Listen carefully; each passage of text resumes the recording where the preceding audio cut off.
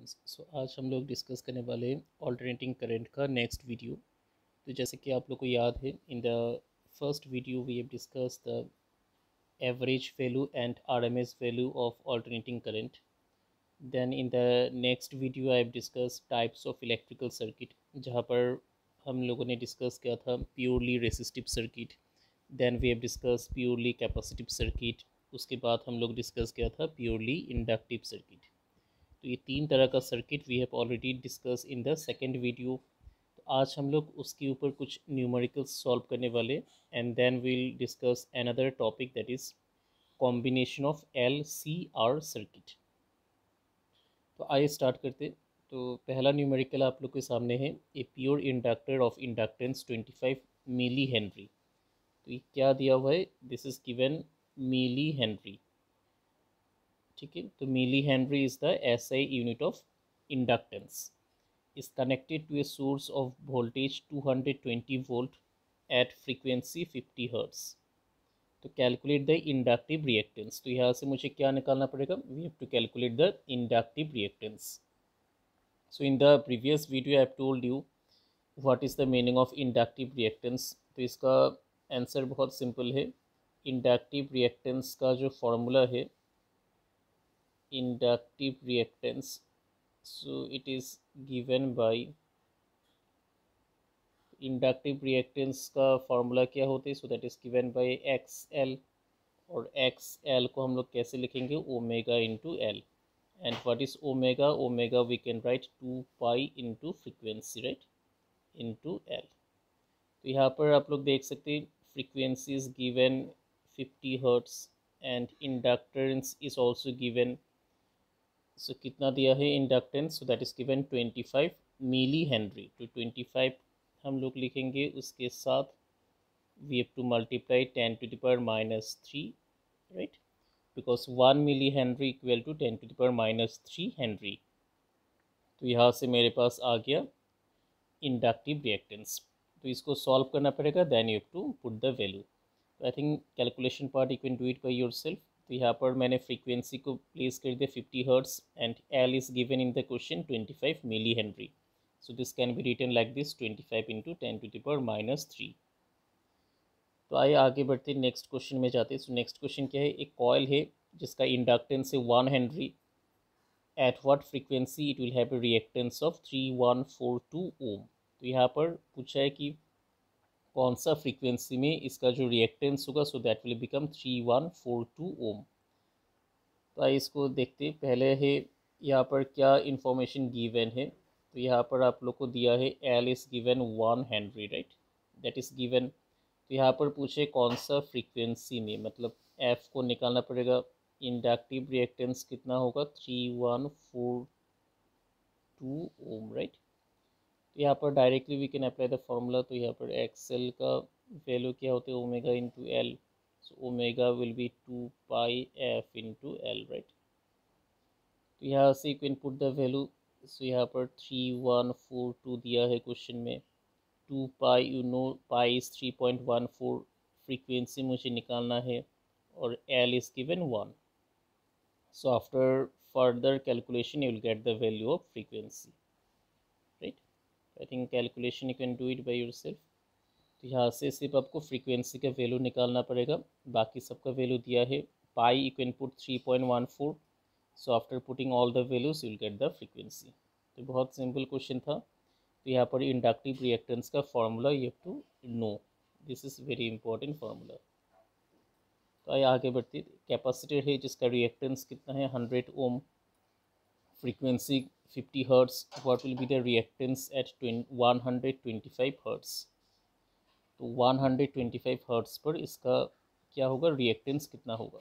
तो आइए इसको देखते हैं। तो यहाँ पर capacitive reactance is given by one by omega C that all of you know so that is given by two pi F into C right तो यहाँ पर, पहले तो मुझे यहाँ पर दिया है 100 ओम का। तो यहाँ पर पहले दिया है hundred ohm will be, hundred ohm will be कितना है? फिफ्टी हर्ट्स तो यहाँ पर फिफ्टी हर्ट्स पर है so it will be two pi into fifty right into C so ये आप लोग का इक्वेशन नंबर वन हो गया। अब नेक्स्ट इक्वेशन में क्या होगा? What will be the reactance reactance कितना होगा? At one twenty five hertz तो यहाँ पर पहले अब मुझे रिएक्टेंस निकालना पड़ेगा। तो यहाँ पर two pi into one twenty five into क्या होगा? सी राइट तो इसको अगर मैं डिवाइड कर दूँगा if you divide equation one and two there I think will get the value so I इसको डिवाइड करते तो इसको मैंने डिवाइड किया left hand side and right hand side अगर मैं डिवाइड करूँगा तो कितना होगा? So this will become I think you will get two pi into into C divided by क्या निकलेगा? Two pi one twenty five right into C तो सी से C cancel out two pi two pi cancel out तो बचेगा कितना? Fifty by one two five right so further calculation can do it by yourself cross multiply करना पड़ेगा. XC dash का value you have to calculate तो बहुत simple question है, पहले हम लोग को कैपेसिटिव रिएक्टेंस का फॉर्मूला अप्लाई करना पड़ेगा one by omega C then we have to put the frequency का वैल्यू फिफ्टी हर्ट्स और X is given hundred ohm अब दूसरा पूछा है कि सेम कैपेसिटेंस होगा, लेकिन वहाँ पर कैपेसिटिव रिएक्टेंस कितना होगा? अगर फ्रीक्वेंसी हो गया one hundred twenty five hertz तो ये सिंपल सा है तो यहाँ पर आप लोग को डिवाइड करना पड़ेगा दो इक्वेशन को so after dividing you will get the value of X C dash तो आगे बढ़ते। सो नेक्स्ट क्वेश्चन है current is given by this one calculate the frequency and the maximum value of the current तो ये जो equation है, इसको अगर हम लोग कंपेयर करेंगे स्टैंडर्ड इक्वेशन से स्टैंडर्ड इक्वेशन क्या है? करंट का I naught sine omega t right और यहाँ पर आप लोग को दिया है ऐसा hundred sine three one four into t so if you compare both the equation then how much will get I naught तो आ गया hundred ampere omega will be how much three one four right so, this can be written as 2 pi f equal to three one four तो यहाँ से आप लोगों को क्या मिलेगा? Frequency so from here you will get the frequency and maximum value कितना होता है करंट का? So this will be the maximum value that means मैंने आप लोग को पहले भी बोला था I naught is the peak value होते हैं तो peak is nothing but maximum तो इस क्वेश्चन में क्या पूछे निकालने के लिए? पहला है फ्रीक्वेंसी और दूसरा क्या पूछे? Maximum value of the current तो मैक्सिमम वैल्यू कितना होगा? Hundred ampere and frequency will be after solving you will get the value ठीक है? तो ये कुछ क्वेश्चन था जो हम लोग डिस्कस किया। तो आइए आगे बढ़ते सो नेक्स्ट टॉपिक हम लोग का होगा। नेक्स्ट टॉपिक क्या है? L C R series circuit तो यहाँ पर हम लोग डिस्कस करने वाले तीनों का कॉम्बिनेशन क्या क्या है तीनों?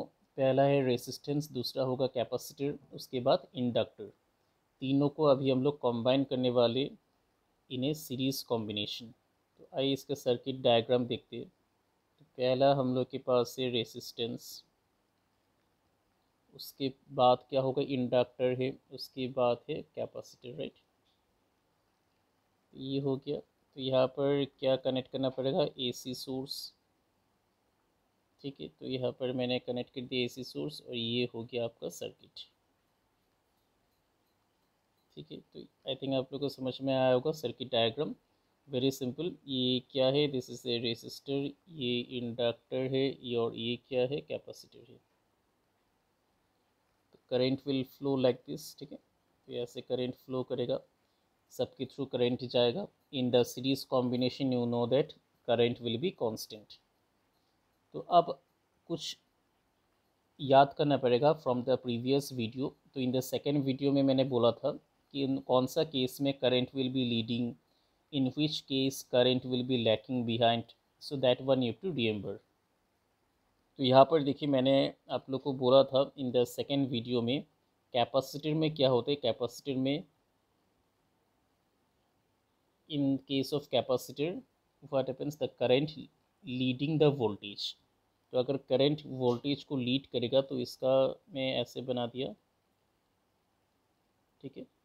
So current will lead the voltage तो ये आपका करंट है और ये क्या है? This is the voltage in case of capacitive circuit inductance में क्या होता है? इंडक्टेंस में ये वोल्टेज है और ये क्या होगा? करेंट होगा।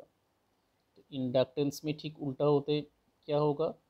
Current will be lagging behind the voltage in case of inductive circuit और रेसिस्टिव में क्या होता है? रेसिस्टिव में दोनों का सेम होगा। Voltage and current both are along the same phase तो यहाँ पर क्या होगा? दोनों का डायरेक्शन भी सेम होगा। तो आई थिंक ये बात आप लोग को समझ में आया होगा। यहाँ पर कैपेसिटिव सर्किट में current will be leading the voltage inductive circuit में क्या होगा? Current will be lagging behind the voltage and in case of purely resistive circuit क्या होगा? दोनों का डायरेक्शन सेम होगा वोल्टेज एंड करंट का। Why because they are in same phase तो ये हम लोग को मिला था इन द सेकेंड वीडियो तो आइए इसका एक डायग्राम हम लोग बना लेते हैं और एक डायग्राम तो यहाँ पर आप लोग देख सकते ये मैंने इस डायरेक्शन में मैंने वोल्टेज को बनाया, ठीक है? ये सपोज़ वोल्टेज है और यहाँ पर ये है, ठीक है? तो यहाँ पर क्या होगा? यहाँ पर इंडक्टिव सर्किट का वोल्टेज होगा और नीचे किसका होगा? कैपेसिटिव सर्किट का वोल्टेज तो आई थिंक ये बात आप लोग को क्लियर हुआ। तो अगर यहाँ पर दिस इज़ फॉर जो एक्स डायरेक्शन आप लोग को दिखाई दे रहे हैं so that is for purely resistive circuit उसके बाद क्या होगा? Y direction positive Y representing inductive circuit क्यों बिकॉज़ यहाँ पर इंडक्टिव सर्किट में कौन डोमिनेट करते हैं? Voltage because voltage is leading the current in case of inductive circuit और कैपेसिटिव सर्किट में क्या होगा? Since the current is leading the voltage तो वोल्टेज क्या होगा? पीछे आएगा. So that is represented by negative Y direction so this is for capacitive circuit तो अगर मैं ये जो ये वाला जो पोर्शन है, इसको अगर मैं ऊपर दिखाना कोशिश करूँगा if we try to represent voltage of the capacitive circuit in the positive Y direction तो कैसे बनेगा डायग्राम तो अगर हम लोग इसको ऊपर दिखाना चाहते तो इसका डायग्राम कैसे होगा? So that will look like this ठीक है तो ये डायग्राम बहुत इम्पोर्टेंट होते हैं। इसको हम लोग फेसर डायग्राम भी नाम देते हैं। डायग्राम बनाने के समय बहुत केयरफुल होना पड़ेगा आप लोगों को। तो ये पर ये एक्स डायरेक्शन आ गया। तो यहाँ पर मैंने बना दिया लाइन ठीक है। ठीक है तो यहाँ पर क्या हो जाएगा? So this will become E L minus E C ठीक है। तो ये क्या हो जाएगा? So that will become E L minus E C तो अ क्यू आए बिकॉज़ यहाँ पर देखिए ई सी कहाँ पर था? नीचे था। तो ई एल क्या है? यहाँ पर E L is greater than E C right E L किससे बड़ा था? ई सी से बड़ा था। क्यों? Because voltage in the inductive circuit is leading the current and in case of capacitive circuit voltage is lagging behind तो यहाँ पर हम लोग कैसे बनाएँगे इसका diagram positive Y direction so that will be given by E L minus E C और X direction में तो वोल्टेज अक्रॉस रेसिस्टेंस पहले से था तो इन दोनों का नेट इफ़ेक्ट होगा इस तरफ़। तो यहाँ पर क्या होगा? नेट इफ़ेक्ट तो इसको मैं रिप्रेजेंट किया ई e नॉट से, ठीक है? तो यहाँ पर अगर हम लोग लाइन ड्रॉ कर देंगे तो इसका वैल्यू कितना होगा? So that will be given by E L minus E C ठीक है? तो यहाँ पर आप लोग देख सकते हैं पैरेललोग्राम हो गया। तो इसका जो एंगल है, इसको मैं रिप्रेजेंट किया फाइव से, ठीक है? So this angle is represented by five आइए यहाँ से कुछ एक्सप्रेशन हम लोग निकाल लेते तो यहाँ से क्या एक्सप्रेशन होगा? पहला होगा इम्पीडेंस का। सो व्हाट इज़ इम्पीडेंस तो ये बहुत इंपॉर्टेंट टर्मिनोलॉजी है एल सर्किट में। What is import impedance so basically impedance क्या होता है? It is the total opposition total opposition to the flow of alternating current in LCR circuit तो एक एल सी आर सर्किट में जो total opposition होते so that is given by impedance तो total opposition किसके कारण होगा? एक होगा रेसिस्टेंस के कारण, दूसरा किसके कारण होगा? एक्स एल के कारण inductive reactance and third one will be capacitive reactance तो यहाँ पर तीन तरह का रेसिस्टेंस है एलसी सर्किट में। तो तीनों का टोटल जो होगा sum of this all the three resistor so that will be given by impedance तो इम्पीडेंस बेसिकली एक टर्म होता है जिसको हम लोग डिफाइन करते हैं as a total opposition to the flow of alternating current in case of series L circuit तो आइए इसका एक्सप्रेशन हम लोग निकाल लेते तो इसका एक्सप्रेशन कैसे बनेगा? तो यहाँ पर आप लोग देख सकते हैं now we can write this one तो यहाँ पर हम लोग कैसे लिखेंगे इसको? So this can be written as E naught square equal to क्या होगा? E L minus E C का स्क्वेयर हो जाएगा प्लस क्या होगा? ई आर स्क्वेयर ये मैंने कहाँ से लिखा? तो यहाँ पर डायग्राम देख लीजिए। ये क्या होगा? This is right angle triangle you can apply the Pythagoras theorem so अगर हम लोग पाइथागोरस थ्योरम अप्लाई करेंगे तो यहाँ पर हाइपोटिनस कौन सा होगा? ई नॉट परपेंडिकुलर कौन सा होगा? E L minus E C और बेस कौन सा होगा? ई आर तो यहाँ पर क्या होगा? हाइपोटिनस स्क्वेयर विल बी यहाँ पर हम लोग क्या लिखेंगे? ई नॉट का स्क्वेयर होगा क्या? Perpendicular square so that is given by E L minus E C का स्क्वेयर प्लस क्या होगा? Base base is E R so that will be given by E R square तो आई थिंक ये बात आप लोग को समझ में आया होगा। यहाँ पर मैंने राइट एंगल ट्राइंगल अप्लाई किया and we have applied the Pythagoras theorem तो आइए इसका कैलकुलेशन थोड़ा देखते हैं। तो यहाँ पर can we write like this E naught will be equal to under square root E L minus E C का स्क्वेयर प्लस क्या होगा? ई आर का स्क्वेयर राइट ठीक है, समझ में आप लोग को? तो यहाँ पर देखिए then we can write E R equal to C it is current into resistance then E L कितना हो गया? So that will become I naught into omega L और सिमिलरली ई सी कितना होगा? So that will be given by I naught into one by omega C right तो यहाँ पर मैंने वोल्टेज को लिखा in terms of current and resistance purely resistive circuit के लिए रेसिस्टेंस कितना था? आर इंडक्टिव सर्किट के लिए रेसिस्टेंस कितना होगा? ओमेगा एल और कैपेसिटिव सर्किट के लिए रेसिस्टेंस कितना था? One by omega C so if you put all the values here, then how much you will get? So if you put all the values here, then will get like this. So that is under squared so यहाँ पर क्या होगा? Omega L, यहाँ पर I naught था तो I naught by क्या होगा? वन बाई ओमेगा सी का होल स्क्वेयर प्लस कितना हो जाएगा? I naught square into R square right तो यहाँ से एक काम करते हैं हम लोग आई नॉट को बाहर लेकर आते so if we carry I naught outside तो क्या बनेगा यहाँ पर? Omega L minus one by omega C का स्क्वेयर प्लस क्या हो जाएगा? आर का स्क्वेयर ठीक है? सो यहाँ पर आई नॉट को we have taken it outside यहाँ पर फिर से we can write like this so, this will be given by e naught by i naught right. So this will become ये कितना हो गया? One omega L minus one by omega C का whole square plus कितना हो गया? R का square ये जो टर्म आता है E naught by I naught तो इसको हम लोग क्या बोलेंगे? Now from the ohm's law we know that voltage by current is equal to resistance तो इसका कौन सा सर्किट का रेसिस्टेंस होगा? So that will be the resistance for the whole L circuit तो यहाँ पर मैंने आप लोग को बोला था, क्या होते हैं resistance it is the total opposition to the flow of alternating current तो इसको हम लोग किससे रिप्रेजेंट करेंगे? So that will be given by the impedance so that is represented by capital letter Z ठीक है तो Z is the symbol of the total opposition in case of L circuit तो इसका नाम क्या होता है? It is given by impedance बहुत इंपॉर्टेंट है, इसको आप लोग को याद रखना पड़ेगा। So total opposition is given by this equation ठीक है तो यहाँ पर आप लोग देख सकते हैं, यहाँ पर रेसिस्टेंस है इंडक्टिव रिएक्टेंस है एंड कैपेसिटिव रिएक्टेंस भी प्रेजेंट है। ये इक्वेशन को हम लोग क्या बोलेंगे? This is known as the total impedance equation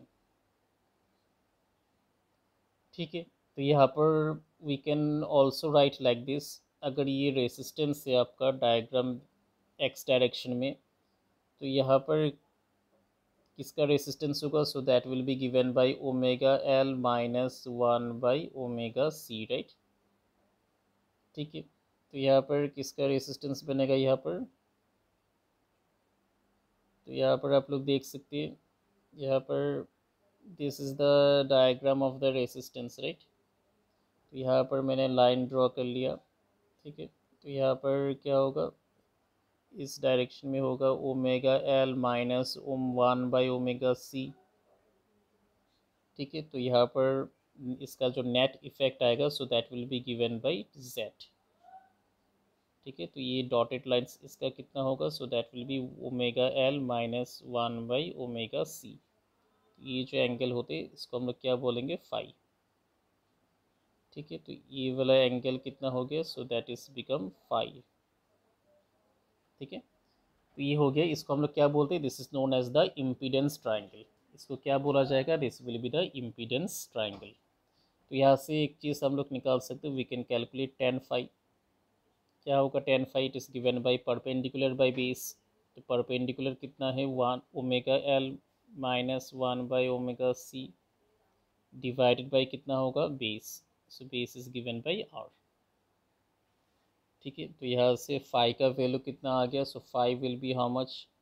so that will be given by tan of inverse omega L minus one by omega C divided by R तो ये वाला कैलकुलेशन हम लोग निकाल लिया। तो यहाँ से कुछ भी आ सकते हैं एग्ज़ाम में। You can be given to find out the value of angle five then you will be given to find out the value of total impedance then it may come to write the equation this the equation we have written then this is the impedance का definition उसके बाद हम लोग diagram draw किया था। Then this is the diagram we have drawn and this is the circuit diagram of LCR series circuit. ठीक है? तो आई थिंक आप लोगों को समझ में आया होगा इतना तक। ठीक है? तो यहाँ पर आई थिंक आप लोगों को समझ में आया। तो यहाँ पर हम लोग करंट को भी निकाल सकते तो करंट का वैल्यू कितना आएगा? So current will be given by E naught by total impedance so that is given by Z right so this will be the total current current का एक्सप्रेशन एक बार लिख लेते हैं। तो करंट का वैल्यू कितना आएगा? So that will be given by E naught by Z तो जेड कितना था? So that is omega L minus one by omega C का होल स्क्वेयर प्लस कितना था? आर का स्क्वेयर ठीक है। So this will be the expression for total current या maximum value of the current ये किसका एक्सप्रेशन है? This is the maximum value of the current. So, that is given by i naught equal to total voltage e naught divided by total impedance. That is given by under square root omega L minus one by omega C का whole square plus R square तो इसी expression से हम लोग next video में निकालेंगे resonance का condition so there is a condition of resonance that will study in the next video तो वहाँ से हम लोग ये वाला एक्सप्रेशन अप्लाई करके we can determine the condition at which the resonance will occur I think आज के लेक्चर आप लोग को समझ में आया होगा. Thank you love you